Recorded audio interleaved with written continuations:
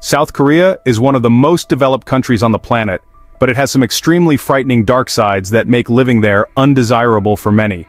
According to statistics, South Korea has the highest suicide rate in the world, with over 1.2 million young people desperate to find employment and frequently suffering from depression. Additionally, environmental pollution and high living costs are also dark aspects of South Korea. Join me on a journey to South Korea and explore the dark sides of this beautiful Asian country, which pressure many young people and make them want to leave. Number 17, rude behavior. If you have ever interacted with South Koreans, please comment below to share your thoughts on them. Nearly half a century ago, South Korea was one of the poorest countries in the world. Therefore, in Korean culture, Koreans teach their descendants that hunger is terrifying. So, when you have food, you must eat it. South Koreans have a habit of putting a lot of food in their mouths at once. As a result, they have to swell their mouths to process a large amount of food. They also often make noise when chewing. In addition, slurping noodles in South Korea is very common. South Koreans are also rude in that they often spit on the streets. The reason for spitting is due to smoking. South Korean girls also smoke a lot. Number 16. Locals dislike immigrants. Although the phenomenon of excluding foreigners is not very explicit, you will still feel that South Koreans are somewhat xenophobic, even though no one says it out loud. For example, you will notice that South Koreans are reluctant to befriend foreigners, dislike foreign languages, always stare at foreigners with prominent appearances, and look down on Southeast Asian countries as very poor. No matter how long you have lived there, or how well you know the language, you will always feel like an outsider. Some bars and nightclubs have signs banning foreigners to keep them away. Therefore it is very difficult for you to have a solid relationship with locals, unless they are South Koreans who have studied abroad or lived abroad for a while. According to a survey by the Korea Women Migrant Workers Human Rights Center, 90% of South Koreans admit that racial discrimination in general exists in this country. Cases of being denied service at bars or in taxis just because of their race are also quite common.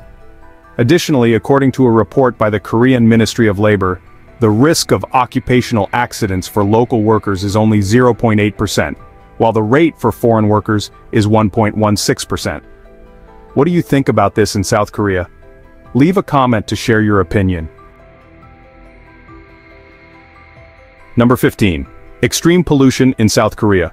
One thing you will find very unpleasant is the pollution in South Korea. Many people come here thinking the weather is foggy, but it's actually fine dust and waste brought in from China. The air quality in South Korea is extremely terrible, and everyone has to wear air filtering masks or have air purifiers indoors. Seoul is one of the cities with the highest air pollution levels globally. According to air quality experts, the main cause is the rapid industrialization in this country. South Korea also endured one of the worst yellow dust storms in decades, the storm often comes with harmful particles such as carbon monoxide, sulfur, heavy metals, and carcinogens. It also carries viruses, fungi, bacteria, pesticides, herbicides, and plastic components, deeply affecting the health of the population. Moreover, public trash bins are very rare in South Korea. You will often see a pile of garbage in a corner designated for garbage collectors, so many people will stuff their garbage there. This will make you smell the unpleasant odor when you come to South Korea. Number 14. Male dominance and female disdain. Talking about Korean culture means talking about a very heavy male dominance and female disdain. At home, women have to take care of all household chores, childcare, and in-law care. In society, they are undervalued regardless of their skills and qualifications. In the gender equality ranking among 144 countries, South Korea ranks 118th. Furthermore, South Koreans believe that a house husband is shameful Many men shy away from this, leaving their wives to do everything alone. According to an analysis by the Seoul Women and Family Organization, mothers spend nearly three and a half hours a day doing all the household chores, while fathers only spend about one hour. With the burden of work and housework, South Korean women have very little time for personal needs. In terms of gender equality, statistics show that female workers in South Korea account for nearly one-fourth of the total workforce in large companies, and the salary they receive is equivalent to nearly 70% of that paid to male workers. The reason is that South Korean women are still limited by deep-seated traditional values in policies, corporate culture and society. making it difficult for women to enjoy a salary commensurate with their education and skills. The corporate culture dominated by men has deeply ingrained in the subconscious of the people in this country. Number 13. Unsafe for women. Also, in South Korea, the issue of secretly filming women is rampant. According to a survey by the country's Ministry of Gender Equality and Family, up to 8 out of 10 women experience harassment in the workplace. Moreover, they often dare not speak up. Besides the risk of losing their jobs, the reputation of the victims will also be tarnished. Furthermore, according to a study conducted by the Korean Institute of Criminology in 2017, 1,593 out of the total of 2,000 men surveyed, or 79.7%, admitted to having mistreated their girlfriends while dating. Approximately 37.9% of the 1,593 respondents, or 603 individuals, stated that dating violence included sexual harassment followed by mental abuse, physical abuse, sexual abuse, and intentional injury. Moreover, according to recent reports from the police in South Korea, the proportion of crimes targeting women has increased from 16,600 individuals in 2007 to 28,228 individuals in 2021. Additionally, statistics from 2011 to 2020 show that up to 86.7% of the victims of violent crimes in South Korea are women. These figures all indicate that women are not safe in this country. This also leads to women being unwilling to marry, have children, or date, resulting in the declining birth rate in this country. What do you think about this dark side? If you are a woman, would you want to go to South Korea? Please leave your comments below. Number 12. South Koreans are very curious. Many South Koreans will ask anything and be curious about your personal life. This can make foreigners feel uncomfortable as they have to answer personal questions about their marital status, family, and personal life. Moreover, South Koreans often like to gossip and talk behind the backs of people they meet. Number 11. Emphasis on hierarchy. Similar to many East Asian cultures, South Korean society can be described as having a strong hierarchical nature. Kkondae is a slang term for older people in South Korea, and this is based on the starting point of a culture that respects the elderly. Accordingly, older people are often overly strict and stubborn, they always use their age and work experience to bully younger people, forcing them to humble themselves. South Korean culture is heavily influenced by Confucianism, which has created the belief that the elderly are always right, and that their experience is always superior to that of the young. They have the right to be wrong and the right to impose everything. The con culture leads to a significant gap in the workplace, especially in the office. The con culture in the workplace is characterized by years of service, there is a very clear hierarchy in the company in terms of titles, forms of address, and job assignments. Those with higher status have more power. This will determine who reports to whom and how. In addition, the attitude of subordinates towards superiors needs to be cautious and humble. This makes subordinates very vulnerable to bullying from superiors, and they have to compromise as they cannot do anything other than obey. Number 10. High cost of living. While South Korea's cost of living ranks 16th in the world, higher than Tokyo, the quality of life is lower at 81st, indicating a significant gap between the cost of living, housing prices, and the quality of life of the people in this city. The most expensive housing area in Seoul is Gangnam-gu, with an average apartment price of about 2.28 billion won. Apartment prices in Seoul have skyrocketed in recent years. The proportion of apartments priced over 900 million one accounts for more than half of the total number of apartments in the South Korean capital. Located in Yonggun-gu, the Hannam the Hill apartment has the highest transaction amount of about 7.75 billion won. Number 9. Extremely crowded life. Life in South Korea can sometimes be challenging. Personal space is almost non-existent, especially on public transportation. Subway trains can also be quite crowded so be prepared when you come here. Residents are too familiar with the packed-like sardines scene because the population density here is 15.69 people per square kilometer. This can be explained by the tragedy of people trampling on each other in Itaewon, which killed at least 158 people, including 26 foreigners. The victims were mainly young people aged 20 to 30, part of the crowd of over 100,000 people flocking to Itaewon and jostling just to enjoy Halloween festivities. Number 8. Emphasis on physical appearance. South Korea is known as a country that values outward appearance. Because of this, the pressure is increasingly weighing on the shoulders of its citizens, urging them to meet society's expectations of appearance and not hesitating to spend a lot of money to improve it. The constant glorification of beautiful faces makes many individuals feel ashamed of their natural features, leading to a loss of self-confidence. In particular, fair skin indicates a person's high social status, whereas darker skin is considered to belong to low-wage laborers who toil outdoors. Most Korean cosmetics products are specifically tailored to serve the fair-skin demographic. Not many Korean cosmetics companies produce products for those with darker skin tones.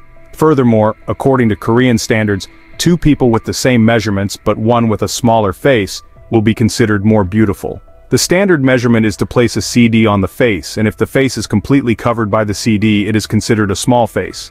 That's why every four South Koreans undergo cosmetic surgery every year. The reason they undergo cosmetic enhancements is that they don't want to fall behind anyone in terms of appearance, increasing their chances of competing for jobs or having influence online. Do you meet the beauty standards of South Koreans and what do you think about the emphasis on physical appearance? Please comment below. Number 7. Fast-paced lifestyle of South Koreans. Are you familiar with the image of South Koreans brushing their teeth while walking from movies? Let me know in the comments. In fact, most South Koreans have this habit, especially in public places like companies and schools. South Koreans also maintain this habit to save time. They believe that personal hygiene should not affect other important tasks. For these reasons, it's not hard to see images of South Koreans brushing their teeth while doing something else. This fast-paced lifestyle has deeply ingrained itself into the subconscious of South Koreans. It seems that the quick pace in the subconscious of South Koreans also leads to impatience. It's not hard to see images of South Koreans being impatient and irritable when not served quickly. In addition, South Koreans are particularly impatient with slow internet speeds because it hinders rapid exchanges, such as communication, banking, shopping, and many other tasks done through phones. Some choose to close the browser and try again, rather than look at the loading screen for three more seconds. Although South Korea's fast-paced trend may have helped the country develop rapidly, incidents due to haste are also likely to occur. An iconic example is the collapse of the S department store in 1995, which killed 502 people and injured more than 900. The cause of the collapse was due to negligence and haste in construction. What do you think about this culture? Please leave a comment. Number 6. School violence occurs frequently. An example of the school violence situation is from 2021, when a group of South Korean students at a girls' high school in the city of Yangsan physically assaulted another student for nearly six hours just because of racial issues. The group even recorded a video and shared it online. A survey in 2022 by the South Korean Ministry of Education, with responses from about 3.21 million students, showed that 53,880 students, accounting for 1.7%, reported experiencing school violence during the period from the second semester of 2021 to the first semester of 2022. Among them, 3.8% of elementary school students, 0.9% of middle school students, and 0.3% of high school students said they had experienced school violence. 41.8% reported verbal violence, 14.6% physical violence, and 13.3% bullying. The reason is that many victims still commit suicide, and bullies continue to go unpunished for their actions. In addition, many victims say that the school violence prevention committees are not to be trusted. What do you think about the situation of school violence in South Korea? Please leave a comment with your opinion. Number 5. Youth Unemployment South Korea's economy is very strong but declining, with giant conglomerates like LG, Samsung, and Hyundai. Startups are struggling to advance in society. These companies impose poor contract terms on smaller companies, which must accept the more significant risk of bankruptcy. This is paralyzing the job search ability of most young people, and over 11% of youth cannot find employment. Furthermore, because companies only hire students from prestigious universities, there are many unemployed graduates in South Korea, According to Yonhap News Agency, data from the Korean Statistical Office shows that as of May of this year, out of 8.42 million people aged 15 to 29, 4.52 million have graduated from middle school, high school, or university. However, 1.26 million of those who have graduated are currently unemployed. In addition, about 52.8% of unemployed youths are university graduates, and about 1%, equivalent to 12,000 people, have master's or doctoral degrees, according to the same agency. On average, young people take 10.4 months to find their first job after graduation. About 15.3% of young people, equivalent to 591,000 people, say it took them more than two years to successfully apply for a job after graduation. This adds to a major crisis for the South Korean government, forcing the state to implement many programs encouraging students to go abroad to find jobs. What do you think about this situation in South Korea? Please leave a comment with your opinion. Number 4. Extreme academic pressure. In recent years, South Korea has become known as an unhappy country for children to grow up in, due to the heavy burden of early education. South Korea's education system has become one of the most competitive in the world, as even the youngest children must study diligently like adults, just to keep up with the rest. 83% of five-year-old children in South Korea attend additional classes, and families spend an average of 16% of their income on private education. South Korean elementary school students carry a burden heavier than textbooks every day. That is the pressure to rank first in class, leading in academic achievements. A study by the Korean Institute of Health Education shows that more than half of the country's students feel stressed at level 3 out of 4 in terms of academic pressure. This rate is much higher than the global average. This has led the South Korean government to even ban private tutoring sessions after 10 p.m. to reduce the insane academic pressure faced by South Korean children. The most difficult exam that South Korean students fear is the college entrance exam. In Seoul alone, there are up to 24,000 cram schools, three times the number of convenience stores, just to teach children the questions for the college entrance exam. The reason is that South Koreans fear unemployment and lack of qualifications. Whenever the college entrance exam takes place, about 20% of candidates retake the exam to secure a spot at their dream universities.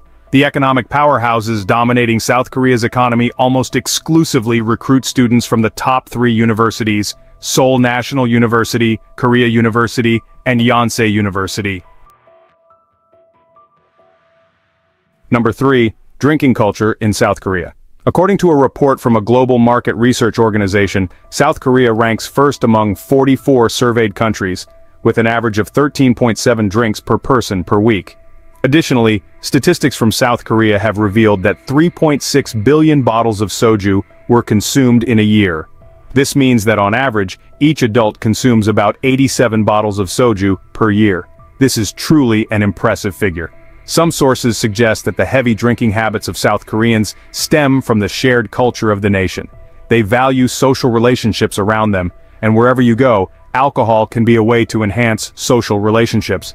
Gathering, drinking, toasting and chanting slogans are also forms of encouragement, showing determination and fostering solidarity. Therefore, if you don't like drinking alcohol, you will surely be surprised when you come to South Korea.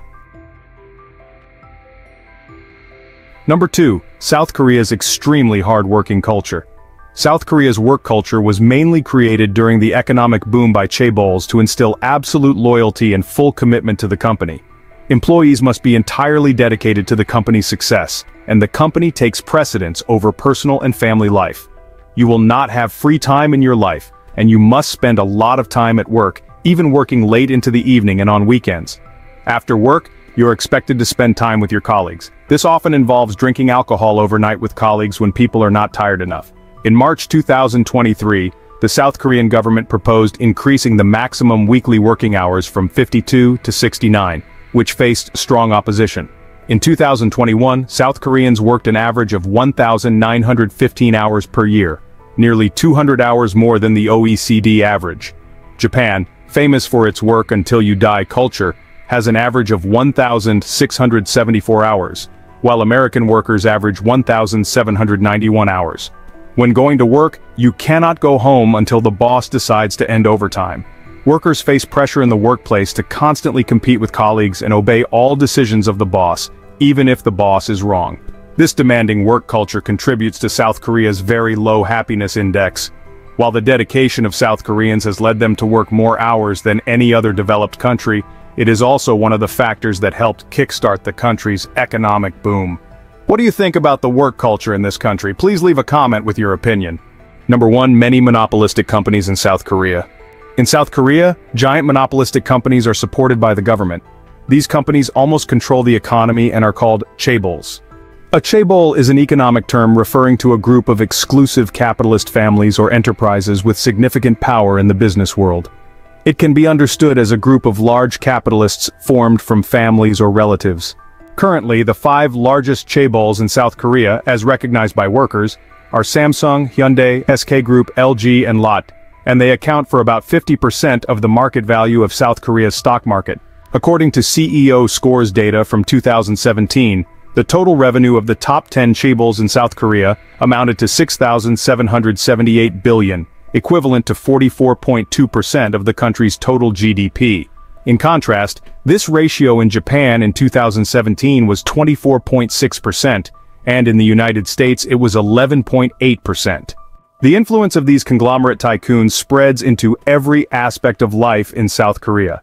Most projects in construction, films, culture, fashion and technology are related to the subsidiaries of chaebols.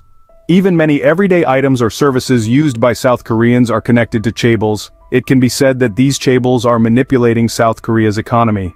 So we have explored the 17 dark sides of living in South Korea. What do you think about these issues? Have you lived in or experienced anything in South Korea? Remember to comment and share your thoughts with me. Thank you for watching our video. Don't forget to like, share, and subscribe to stay updated with the latest content from us. See you in the next videos.